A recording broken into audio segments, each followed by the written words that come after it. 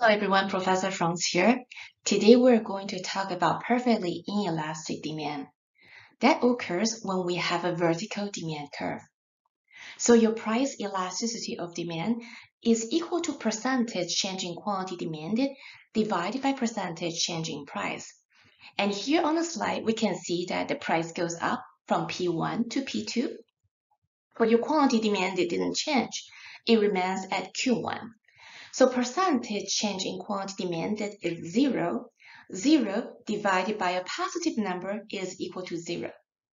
So we say that, hey, when you have a perfectly inelastic demand, your price elasticity of demand is equal to zero. Here is an example of perfectly inelastic demand. Suppose you're sick with a ear infection and your doctor tells you that, hey, you need to take this prescription drug and for a week after that, your ear infection will be cleared. So you fill the prescription and you expect that the copay is $10. But unfortunately, this time, the pharmacist tells you that, hey, your prescription is not $10, it is $15. So the price of your prescription goes up from $10 to $15.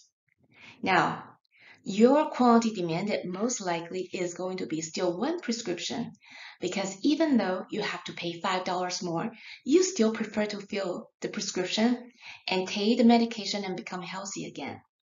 And therefore, your quantity demanded does not change even though the price of your drug goes up from $10 to $15. This is a tip that will help you to remember that perfectly inelastic demand has a vertical demand curve. Just when you write the I, make it super long, perfectly inelastic demand.